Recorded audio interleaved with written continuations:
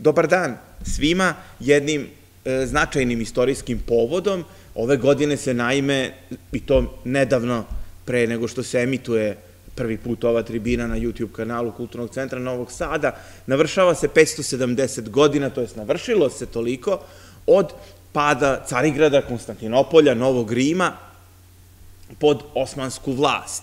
To je bio događaj od svetsko-istorijskog značaja, mnogi istoričari i danas kada dele istoriju na stari, srednji i novi vek, smatraju da je ovo po nekima možda i kraj srednjeg veka, svakako jedan od ključnih događaja uopšte u svetskoj istoriji, jer od tog momenta nestalo je 1100-godišnje vizantijsko, odnosno istočno-rimsko carstvo, a nastalo je na njegovim ruševinama novo osmansko koje je, ili Turska, često se naziva i osmanskim carstvom, koje je opstalo pak narednih 400 70 godina do 1923. godine, pre 100 godina tačno proglašena je moderna Republika Turska pod Kemalom Ataturkom, tako da se nekako ta 1453. je postala vododelnica, ali eto te okrugle godišnjice se nekako na nju prirodno e, nižu i pokazuju jednu genezu razvoja e, prostora koji danas e, obuhvata Turska, koji je 1100 godina ipak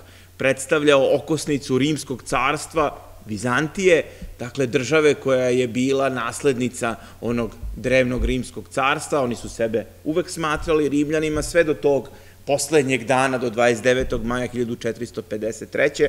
dana koji se, evo, obeležava 570 godina kasnije. Da bismo razumeli sve ono što se dogodilo i taj utorak 29. maj 1453. godine u ranim jutarnjim časovima kada je Carigrad prestao da bude prestonica Vizantije, moramo se vratiti unazad i moramo razumeti jedan širi kontekst kako Vizantijskog carstva i njegovog razvoja, odnosno opadanja, tako i Turske, ali i širih e, zbivanja političkih, geopolitičkih polovine 15. veka. 1204. je došao prvi pad Carigrada, kada je stvoreno Latinsko carstvo, i to je bio početak na određeni način e, opadanja Vizantije, koja je, kako je to e, Georgij Ostrogorski, e, jedan od najvećih, možda i najveći vizantolog svih vremena, rekao u svom neprolaznom priručniku za istoriju Vizantije, da je to bilo moment kada je Vizantija postala država drugoga reda.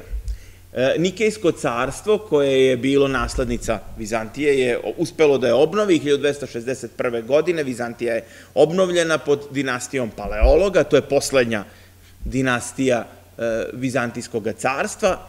Najduže je trajala, svakako nije e, najveća, ali je najduže trajala i ostavila iza sebe zaista velike, e, možemo reći velike i posledice i velike uticaje na sve okolne zemlje, pa i šire. To carstvo, carstvo na umoru, kako se takođe često naziva u historiografiji, e, bilo je sada ne samo država drugog reda, nego država sve vreme e, razrovarena međusobnim građanskim ratovima članova dinastije Paleologa.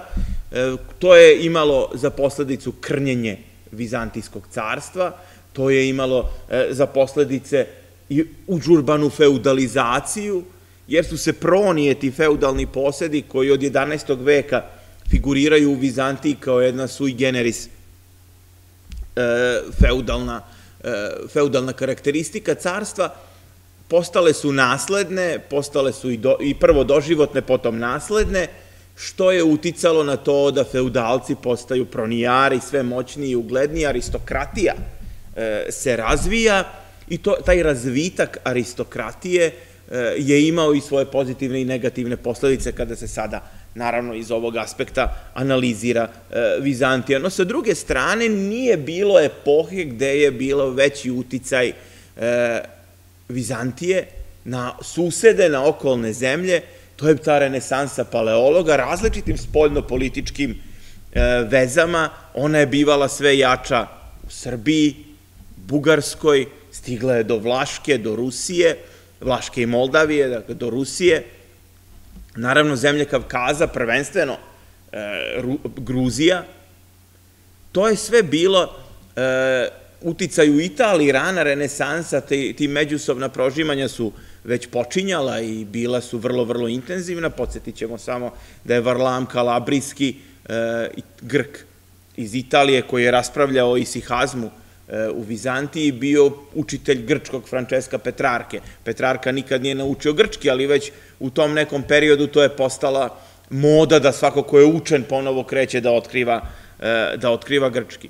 E, za vreme Jovana petog paleologa to opadanje se najviše videlo, zbog čega? Jača upravo Turska, ali jača i Srbija. Srbija od vremena kralja Milutina predstavlja najvećeg takmaca Vizantiji na Balkanu, osvaja vizantijske teritorije, širi se pre svega na prostor Makedonije, a u Dušanovo doba i e, na druge e, delove, na neke grčke zemlje, e, na arbanaške teritorije i tako dalje. Dakle, to se radi se o carstvu koje je u jednom momentu doista bilo na tri mora, sa druge strane Turska je sve moćnija, taj Ouski emirat, poznat kasnije kao osmanska država, postao je važan i vojni faktor i Vizantija je počela da sve više i više e, opada i da se postaje zavisna kako od spoljnog faktora, tako i u tu večitu nadu u pomoć sa zapada. Jovan Peti, paleolog za svoju vladavinu,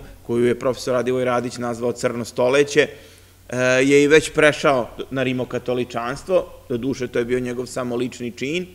E, sa druge strane, 1438. 39. na saboru u Ferrari, potom Firenci, potpisana je Unija, koja je takođe imala značajne e, posledice. Jedna od tih posledica bila je i duga vojna Janka Hunjadija na ovim prostorima.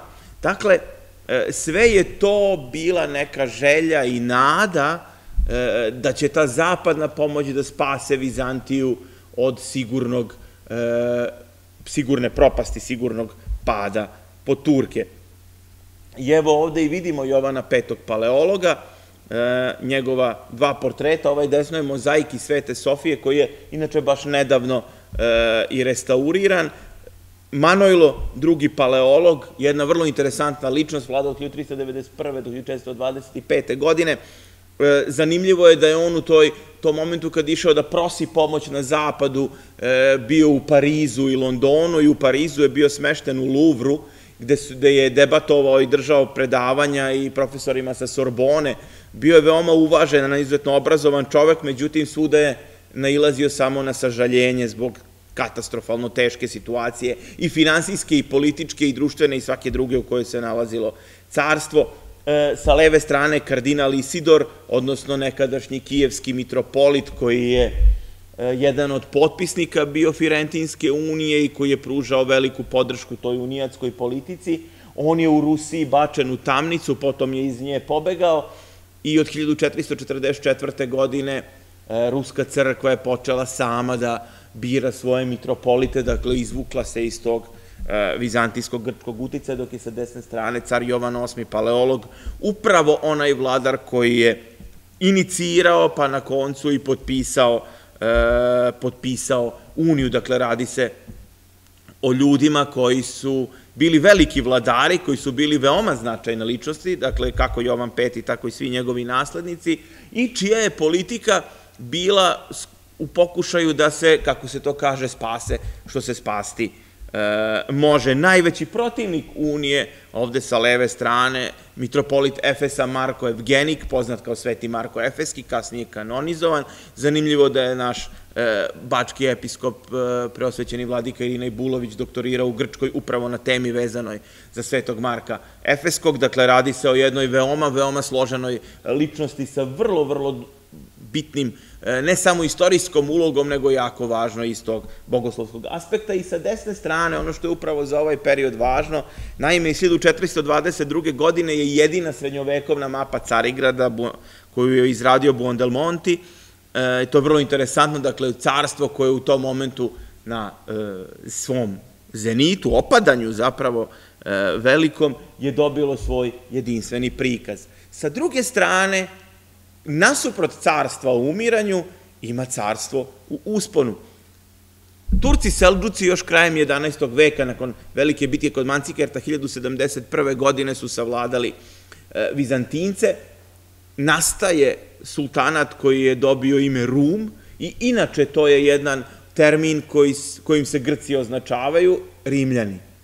I do dan danas mnoge pravoslavne crkve po Carigradu koje su preostale nose to Rum ortodoks, dakle grčko e, pravoslavne i sultanat Rum, dakle Rim, postaje, možemo reći, prva turska država, teritorija na području Male Azije, da bi zatim e, u 12. veku vreme vladavine Manuela I. Komnina, koji je bio poslednji, možemo reći i zadnji veliki vizantijski, zadnji pravi rimski car u smislu želje da se e, carstvo obnovi, doživio je katastrofu kod Mirio Kefalona, takođe od Turaka.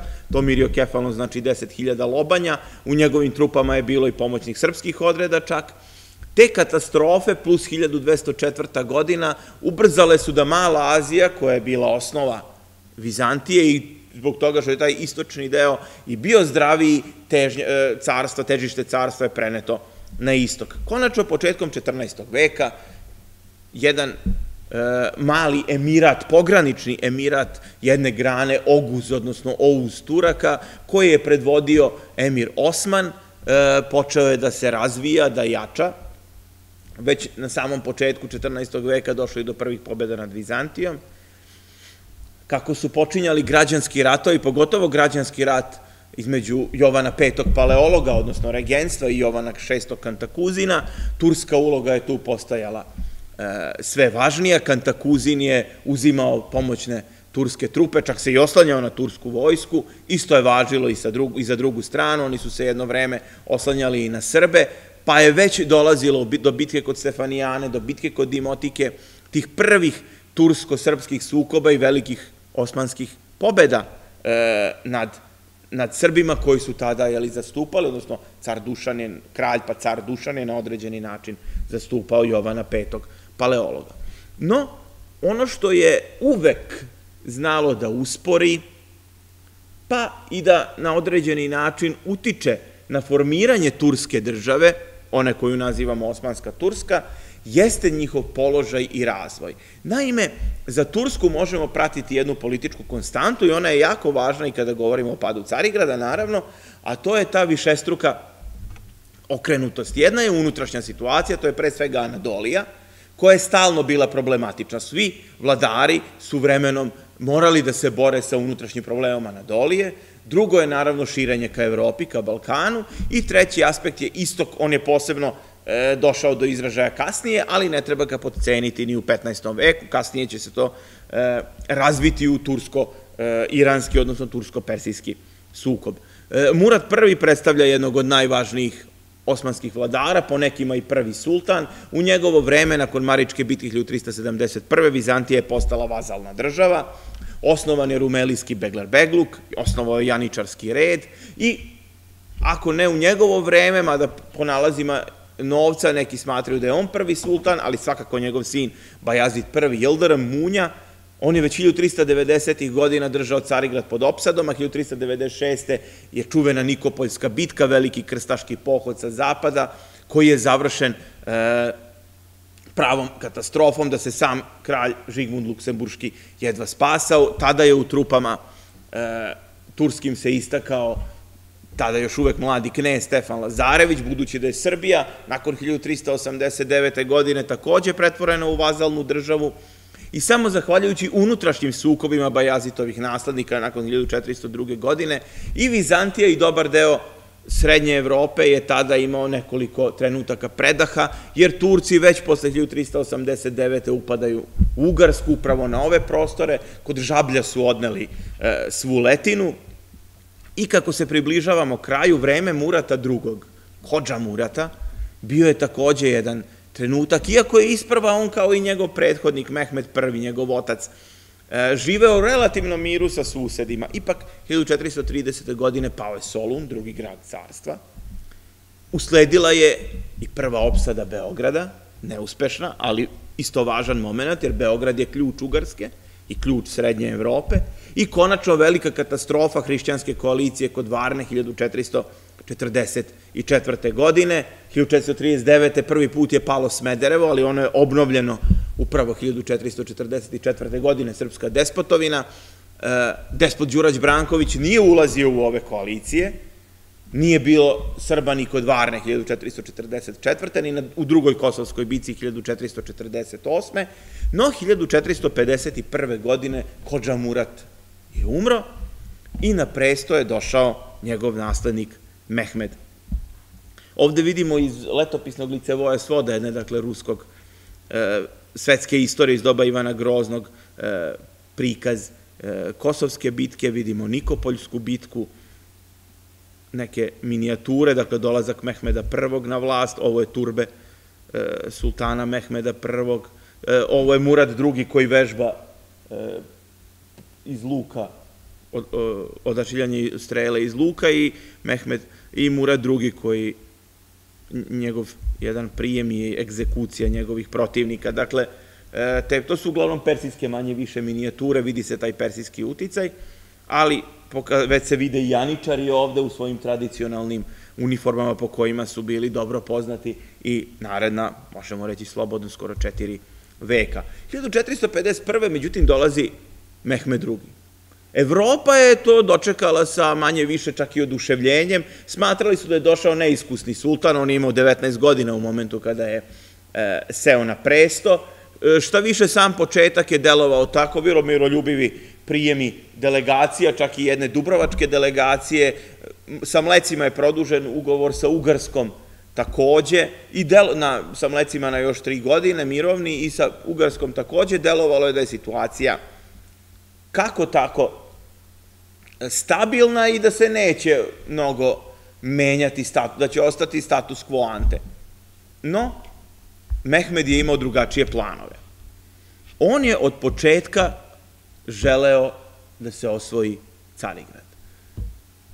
Činjenica je da je Carigrad u to vreme, sem tog ideološkog značaja, koje u ovom momentu ostavljamo po strani, te sakralizovane uloge carice i majke gradova, ipak grad na umoru. Turska ima dovoljno veliku teritoriju već i na Balkanu, osnovan je Rumelijski Begler Begluk, palo je e, i Veliko Trnovo, tu je i e, Plovdiv, odnosno Filipopolj, tu je i Jedrene, dakle, važni mnogi gradovi su već uveliko u sastavu Turske, ali ideja osvajanja Carigrada je ideja da se postane manje pa više pa gospodar čitavoga sveta. Na dvoru je situacija bila dosta e, podeljena, iskusni stari Halil Paša, koji je služio i Murata drugog, bio je dosta dalekovit čovek. On je bio ne za mir koliko je bio da se ne ide u ogromnu opsadu Carigrada po svaku cenu. Zbog čega? Carigrad, vidjet ćemo kasnije, imao je zidine koje se od petog veka postepeno grade, dograđuju, obnavljaju, dakle, bio je grad sa najboljim i verovatno i dan danas grad sa najboljim geografskim i geostrateškim položajem na čitavom svetu i ono vremenom, a boga mi i današnjem na dva kontinenta, sa tri strane okružen vodom, samo sa jedne kopnom. Da biste osvojili Carigrad, potreban je sinhroni napad sa kopna i mora, pri tome zaliv Zlatni rog je zaštićen ogromnim, teškim, gotovo neprobojnim lancem. U takvoj situaciji Halil Paša je znao da ako, ne daj Bože po njih, jel, dođe do neuspeha u opsadi Carigrada, to je kraj Mehmeda. Kao mladog sultana od 19-20 godina, sigurno će doći do pobuna, a nadolski brojni emiri i drugi brojni e, pretendenti na presto, od toga je najzanimljivije pomenuti mladog Orhan Pašu, koji je bio u Carigradu kao talac i Turska je plaćala njegovo izdržavanje, ali je bio i pion u slučaju neuspeha opsade Carigrada, izvesno je da bi Orhan bio pušten od e, vizantijskog cara iz Carigrada i da bi došao i napravio verovatno neki sukob unutar samog carstva. Halil Paša se plašio da sačuva bilo šta, e, ono što je do sada postignuto. Sa druge strane, e, verovatno najznačajniji drugi vezir i najznačajnija pristalica bio je Zagan ili Zaganos Paša. Neki smatraju da je albanskog porekla, u svakom slučaju poturčeni E, hrišćani, najpre albanac katolik, ali moguće je da imao i nekog slovenskog porekla, koji je bio velika pristalica e, da se krene na Carigrad, prosto prevagnula je negde i ta struja. Halil Paša je znao da e, mora porazgovarati sa mladim sultanom i po istočnjačkom običaju pripremio mu je jednu činiju sa voćem, pred kojom se stupa pred, pred sultana, sa kojom se stupa pred sultana, to je opet persijski neki e, običaj, Sultan je već danima bio u svojim odajama zamišljen i bilo je to, e, bio je to strah šta on radi, o čemu razmišlja. I Halil Paša kada je dobio prijem e, kod sultana, ušao je u njegovu dvoranu i da mu po starom običaju preda poklone, Mehmed je samo to odbacio rukom i rekao mu je dajte mi Carigrad. Za Halil Pašu je to značilo da nema dalje mnogo rasprave, bio je dovoljno iskusan i pametan i razborit čovek i znalo se da je ovo početak turskih priprema za opsadu Konstantinopolja. Na dvor je došao ugarski topolivac po imenu Urban, on je pre toga bio kod poslednjeg vizantijskog cara, o kome ćemo nešto kasnije reći, Konstantina 11. Dragaša Paleologa i ponudio je prvo njemu svoje usluge. Vizantija nije mogla to da plati. Potom je prešao na drugu stranu kod Mehmeda II. koji mu je duplo platio odmah u startu da napravi najveći mogući top. Što je ovaj i uradio posle nekog vremena i to je isprobavno, Mehmed je bio zadovoljan i onda mu je još više platio, rekao sad mi napravi još duplo veći. I tako je nastao ogroman top čije su džulad nosi, nosila i nekoliko stotina kila, takozvano Urbanovo čudovište. Međutim, ta artiljerija imala mnogo mana. Taj top, naravno, jedna njegova, jedno njegovo džule može da načini ogromnu štetu zidinama, ali je to jako teško bilo, trebalo je na desetine ljudi da ga nosi, na, više ljudi je trebalo da samo pripremi jedno džule, od njegova eksplozije često ta, ta postavka na kojoj je stojao se znala lomiti. E, dosta je ta artiljerija bila teška, iako je puno pomogla pri osvajanju samog Konstantinopolja, isto tako nije bilo, je ni jednostavno koristiti. I onda je počele pripreme da nasuprot Anadolu Hisaru, Anadolskoj tvrđavi, koju je podigao Bajazit, krenulo je da se gradi ono što nazivamo Rumeli Hisar, danas, koja je nosila ime Boazi Kesen, što bukvalno može da znači i tesnac, ali može da znači i nož, nož pod grlom. Naziva se najčešće rumeli hisar, zato što je na ovoj evropskoj e, strani. I u četvrtak, 15. aprila 1452. rumeli hisar je gotov. Bio sa rumeli hisara su već potopljene neke lađe, isprobavano je, e, a istovremeno je plašeno stanovništvo i uopšte svi koji su bili u Carigradu. E, Turahan Beg, jedan prilično iskusni osmanski vojskovođa koji je dosta toga prošao, poslati na Peloponez da sa značajnom vojskom da spreči Tomu i Dimitriju Paleologa, braću careve, a koji su bili u Moreji, u despotatu Moreji, na Peloponezu, da mu priteknu u pomoć. Rumelijski Beglerbeg Karadža Paša, isto jedna markantna ličnost ovoga vremena u osmanskoj državi, naredio je da se poprave putevi, zapravo bio je na određeni način zadužen za logistiku vojske koja je iz Rumelije trebalo da dođe e, u opsadu Carigrada. Jedan od tih osnovnih zadataka je bilo da se poprave što je više moguće putevi zbog prenosa topova, jer oni su bili vrlo teški, to još nisu bili tako e, razvijeni putevi kroz Trakiju da bi izdržali toliki teret kao što su bili topovi.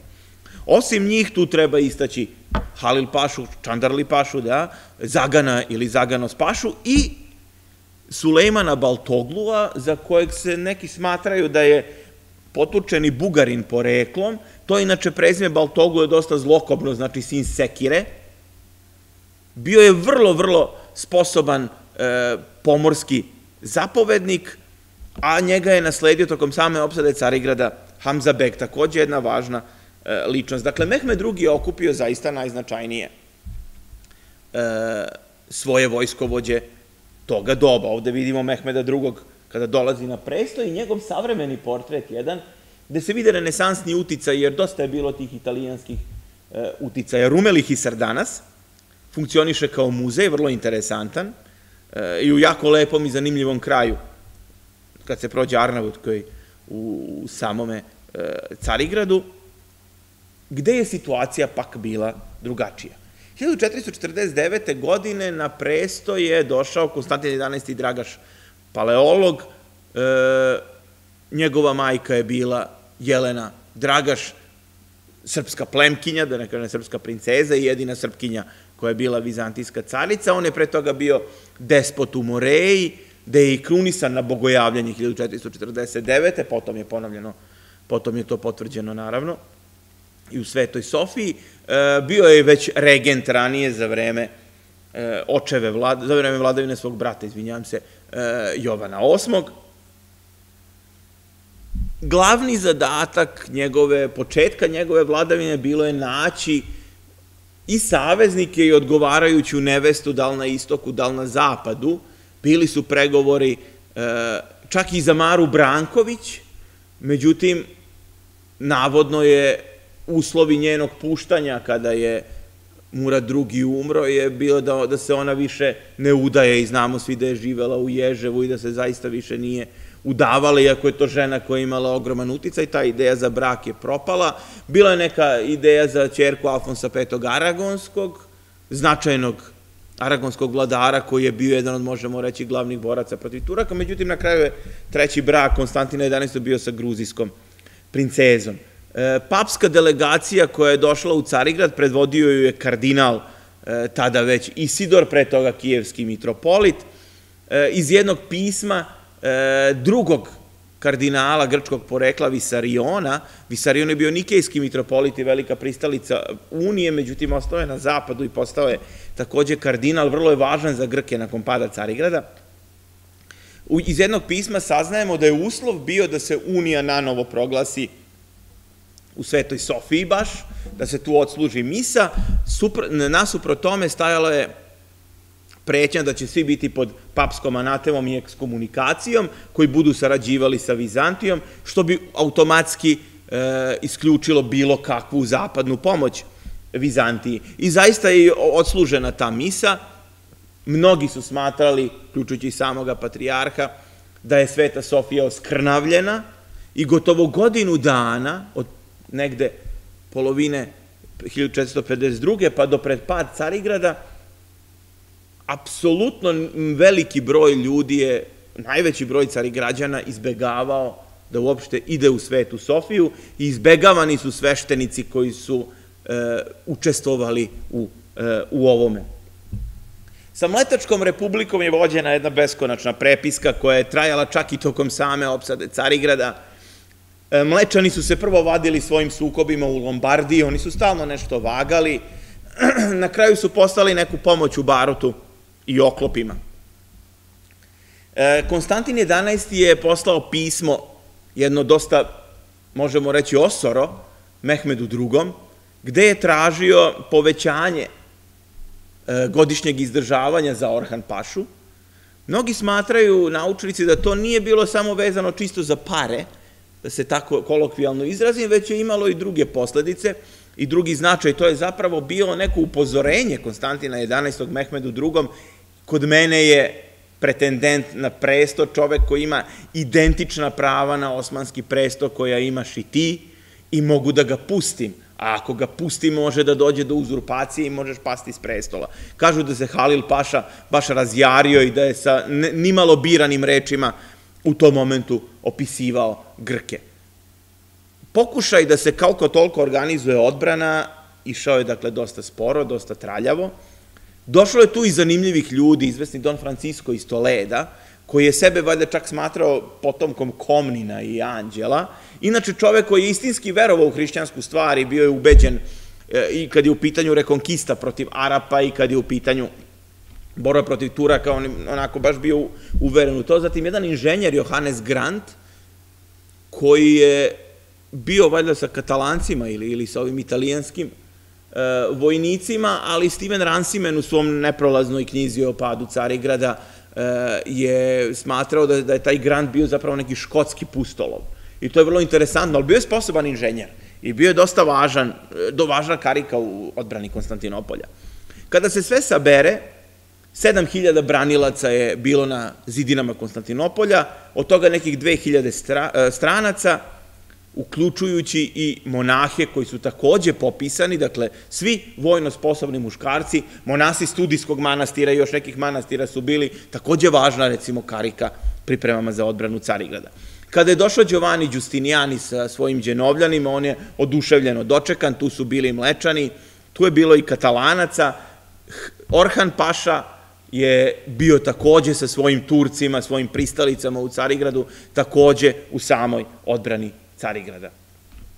Oko 80.000 sa druge strane bilo turskih vojnika, smatra se 5 do 10.000 janičara, bilo je puno Grka i drugih hrišćana, ali bilo je i 1200 srpskih e, konjanika koje je predvodio vojvoda Jakša e, Brežičić, on je inače pretpostavljeni predak porodice Jakšića koja je posle boravila u Ugarskoj, tu su bili naravno i novobrdski rudari, čiji je zadatak bio da potkopavaju carigradske zidine. Vidimo kako je otprilike to izgledalo u to vreme, dakle, na samom, u samom centru, samom centru odbrane E, Mezotihiona e, bio je car Konstantin 11. a nasuprot tome bio je šator e, sultana Mehmeda II.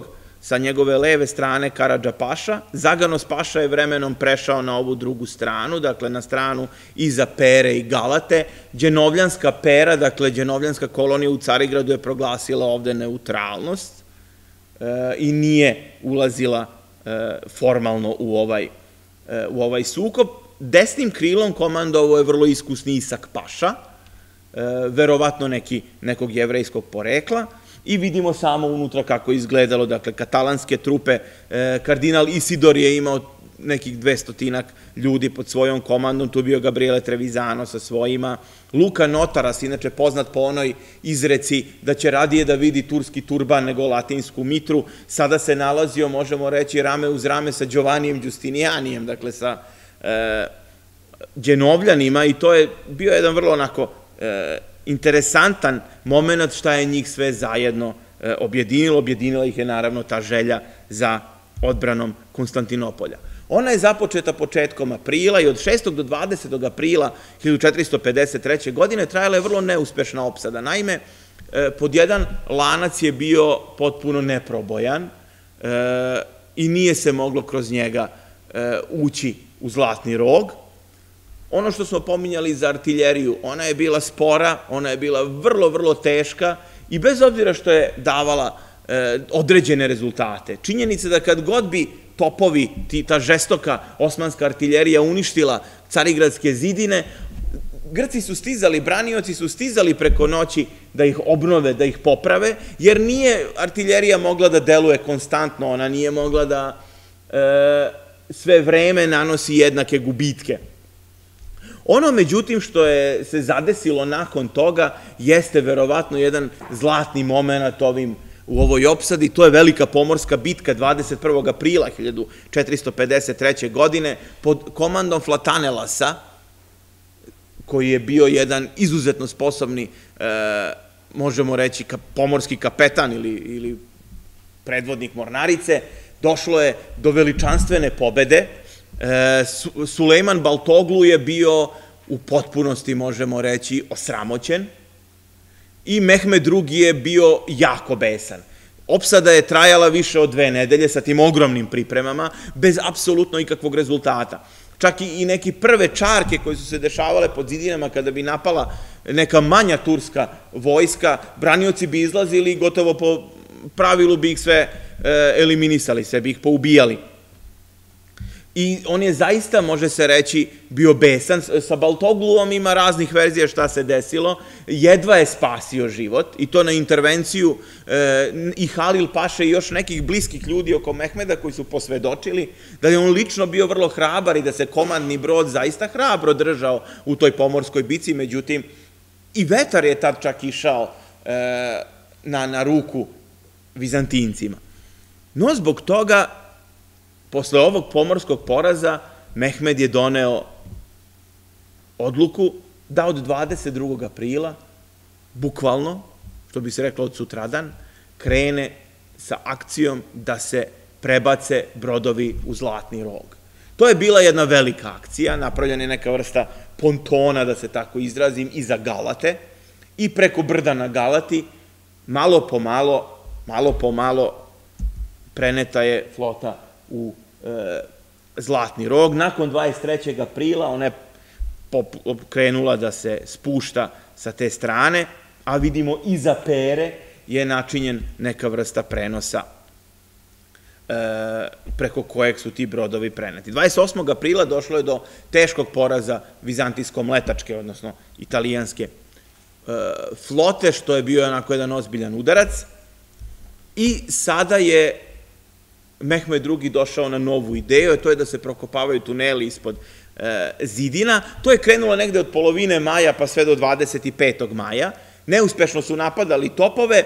E, ono što je interesantno, novobrdski rudari su ih, dakle, kopali, te e, podzemne podzemne kanale kojima se trebalo da se podriju zidine, međutim Grant je imao neke sprave kojima se to moglo sprečavati i tu je došlo do, e, možemo reći, njegove taktičke nadmoće, a i dosta novobradskih rudara je tu i ubijeno, poginuli su, e, a onda su zatim i uhvaćena neka dva e, turska oficira koji su morali sve da ispričaju, a onda su posle surovog mučenja i ubijeni. 21. maja, pak, Mehmed II. je poslao poslednju ili zadnju ponudu mira.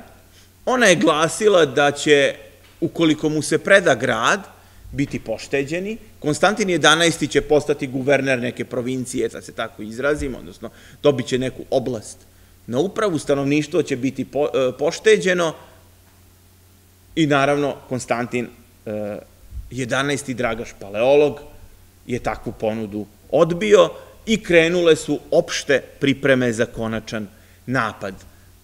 Mehmed je počeo da sakuplja i priprema svu svoju vojsku koju je doveo i taj dan koji je određen za napad jeste 29. maj 1453. godine, utorak, dan koji nije trebalo da svane, kako se često naziva. Ponedeljak 28.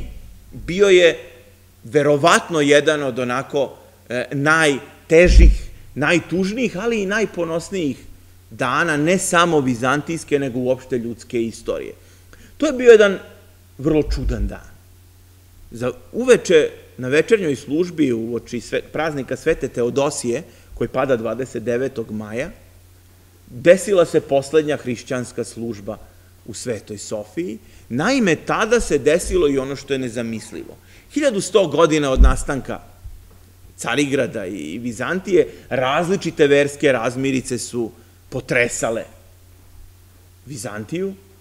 To su naravno bilo i arijanstvo i monofizitizam, ikonoborstvo koje je trajalo više od jednog veka, zatim ti stalni sukobi Rima i Konstantinopolja, vremenom pravoslavlja i rimokatoličanstva, sada je to nekako sve nestalo i u Svetoj Sofiji održana je zajednička služba, čak je došlo i do zajedničkog pričešća. Svi su se tu sakupili, znajući da ih sutra čeka verovatno dan koji neće niko od njih ni preživeti. Nakon toga na belom konju, po tradiciji koju je zapisao Georgis Frances, carev lični sekretar, car je održao govor, svoj čuveni poslednji govor, gde je rekao da se svakome u životu pruža prilika da pogine za svoju porodicu, svoju veru, svoga cara, svoju otačbinu, jel, narod, a da sada će svi oni sutradan poginuti za sve to. Potom se obratio Grcima u svojim redovima koje je nazvao potomcima Ahila, Herakla, e, junacima iz vremena Troje i tako dalje. E, onda se obratio, krenuo Latinima u svojim redovima koje je nazvao pak Enejnim potomcima, dakle ta neka e, opet aluzija na trojanski rat, na tu slavnu antičku helensku prošlost, onda je sišao sa svog belog konja, išao je od čoveka do čoveka, kako je to Francis opisao, od branioca do branioca i svakoga je molio za oproštaj ako mu je nekada nešto zgrešio.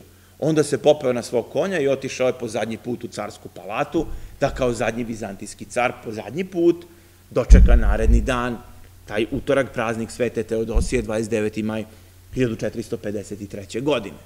Prvi udarac u ranu zoru bio je od strane Bašibozuka, dakle onih najslabijih trupa i one su odbijene. A nadolske trupe su takođe e, dosta dobro se borile, međutim u jednom momentu Đustinijan je bio ranjen kod jedne kapije. Kapija je ostala blago otvorena, janičari su sada e, požurili i kroz tu jednu kapiju u, u tom žaru borbe počeli su da upadaju. Kaže se da je Konstantin 11. Dragaš Palolog za sebe tada zbacio sve carske insignije i da su mu ostale samo purpurne carske cipele u kojim je bio prošiven e, orao, dvoglavi orao Palolog je bio prošiven na obe na obe čizme, to je bio carski simbol i na kraju u gomili leševa on je i pronađen zahvaljujući purpurnim e, carskim čizmama. Tada je on, kao musketari nekada, ujedinio svoje mačeve sa svojim bratom, Teodorom, sa e, Don Franciskom iz Toleda i još nekima i bacili su se u masu na dolazećih Turaka i to je zadnji put da je neko i video Konstantina 11. koji je herojski, malte ne kao svetac, poginuo u toj borbi protiv Janičara, koji su ipak bili udarne trupe i uspeli su da 29. maja 1453. godine i osvoje Carigrad. Tri dana i tri noći, po šerijatskom pravu, grad koji se ne preda, tri dana ima pravo da bude izložen pljački. I zaista tri dana, a ovde je bilo udešeno da taj treći dan bude upravo petak, najsvetiji dan kod muslimana, bio je moment kada je Mehmed II. ušao u Carigrad, dobio je taj nadimak Fatih, što prevodi se kao svajač, ali Fatahaju Fatihu može da znači otključati. Dakle, onaj koji je otključao kapije Carigrada i on je tu sada postao gospodar. Ovo je lanac, njegovi ostaci se čuvaju i u arheološkom muzeju danas u Carigradu, ali i u vojnom. Jedna francuska minijatura samog pada e, Carigrada, vidimo da je i sultan, inače zanimljivo ovde prikazan na belom konju, iz jednog rumunskog ma manastira, ovo je iz 16. veka i stoji gore pad Carigrada i još jedan francuski e, prikaz iz 15. veka. E, Mehmed je ušao, ta kapija se danas zove Edirne kapi, kapija koja vodi ka Jedrenama, i tu i danas ima natpis da je kroz tu kapiju e, ušao Mehmed II. pre 570 godina i zna se da se divio gradu. On je želeo da stvori rimsko carstvo samo islamsko. To je njega oduševljavalo. I išao je polako do Svete Sofije. E, u Svetoj Sofiji je video nekog svog vojnika koji razbija mermer. Udario ga je, šutnuo ga je i rekao mu je imali ste tri dana da pljačkate i uzimate sve što želite građevine ostavite meni. Pozvao je jednog svog čoveka, koji je bio izuzetan mujezin, koji se popeo na oltar Svete Sofije i pozvao po prvi put, dakle čuo se ezan sa oltara Svete Sofije, pozvao je na molitvu, bio je petak, bila je džuma, najsvetiji dan kod muslimana, i po prvi put je e, služena, možemo reći, islamska služba, klanjano je po prvi put Allahu i njegovome poslaniku Muhamedu u hramu koji je 1100 godina bio, možemo reći, hrišćanska prestonica sveta. Čitava hrišćanska Evropa se potresla. Za despota Đurđa se kaže da je tri dana plakao i da se zavukao u svoje ode i da ga niko nije, kada je čuo vest o padu Carigrada, uopšte ni čuo ni video narednih nekoliko dana. Sa druge strane, i čak i zapadni svet koji je toliko bio na klackalici, a koji je sada uvideo zaista te razmere tragične e, posledice. Napisano je mnogo lamenta i tužbalica za gradom, ima nekoliko srpsko-slovenskih, ima i drugih. E, pad Carigrada je zaista odjeknuo, iako ne treba imati iluzije, mlečani su vrlo brzo uspostavili diplomatske odnose sa e, novom državom, sa novom imperijom koja je tu stvorena. Sultanova želja je bila naravno da se stvori novo carstvo, koje bi bilo rimsko, ali islamsko. Grci su imali drugačiju sudbinu, Carigradska patrijaršija izmeštena iz Svete Sofije, uništene brojne crkve, međutim dobila je svoje mesto i to je bio početak tog grčkog mileta ili rumskog mileta, gde su zapravo e, hrišćani bili pod vlašću svojih verskih poglavara, odatle kasnije i sva ta priča za E, i Pećku patrijaršiju i tako dalje. E, Konstantinije pod tim nazivom bio je sve do 19. veka kada počinje da se koristi takođe grčki naziv Istanbul od grčkog Istimpolin ka gradu, grad. Jer za Vizantince i učene ljude srednjeg veka polis je jedan jedini, to je bio Konstantinopolj. Konstantin 11. ima neverovatno veliku tradiciju kod Grka Utorak je baksuzni dan kod Grka, inače manastir Mehali Meteori, veliki meteori, ne radi utorkom i mnogi manastiri i danas praktikuju da ne rade utorkom u znak žalosti zbog pada Carigrada i radit će utorkom tek kada se ponovo Carigrad vrati e, hrišćanima. Kao što je utorak baksuzni dan kod Grka, ništa se ne počinje na utorak. To je jedno sujeverje koje je opstalo. Sa druge strane, kod Turaka je vrlo jako sujeverje da se ne spoje nikad glava i telo Konstantina 11. jer će onda on ustati i osloboditi Carigrad od Turaka i ta legenda se čak i u 19. veku je bila dosta živa e, među Turcima. Konstantin je ušao i u grčku kulturu, on se smatra besmrtnim carem, Odisej Elitis, verovatno najveći učenik Konstantina Kavafija i najveća inspiracija sa druge strane, napisao je čuvenu poemu e, Poslednji Helen, koju je posvetio Konstantinu 11. Dragašu Paleologu, a pad Carigrada je, možemo reći, i, sa, i iz Turske, i iz hrišćanske, da ne kažem, grčke perspektive, ostavio velikog traga u čitavu umetnost, kulturu e, i tradiciju. Vozano i njegovi čuveni, Vozano je bio italijanski slikar koji je bio neverovatno opterećen, da tako kažem, i, strašno nadahnut e, padom Carigrada i Osmanskim carstvom uopšte, naravno vidimo, portreti su e, krajnje anahroni, ali taj moment preuzimanja ideje belog konja, koji je sada dati Mehmedu, isto tako pokazuje da je on smatran naslednikom e, careva. E, Hadži Mihajl, jedan od najznačajnijih 19. grčkih slikara, portretiše pad Carigrada, Konstantin 11. je ovde prikazan e, u junačko na belom konju, iza njega su sveštenici, patrijar sa sveštenicima koji ga blagosiljaju, sa zastavom, koja je zapravo zastava autokefalne e, grčke crkve, i, i kasnije taj crni dvoglavi orao paleologa. Sama borba e, u gradu takođe, Hadži Mihajl, jedan veliki grčki slikar. Konstantin 11. sa leve strane je njegova njegov savremeni portret iz 15. veka, a sa desne jedan od njegova dva velika spomenika u Atini. Ovaj je ispred mitropolije, ispred sedišta e, Atinske mitropolije, a ima i ovaj drugi, on se nalazi na Faliru i to je njegov spomenik sa podignutom rukom koji pokazuje i ka nebu i ka Carigradu, što je opet onako dosta simbolično, jer jedna od ideja, jedan od nosi, no, kako bih rekao, ideja nosilaca velike grčke ideje, megali ideje, bilo je da se i Carigrad vrati e, u grčke ruke, međutim znamo da je istorija bila sasvim drugačija. Hvala.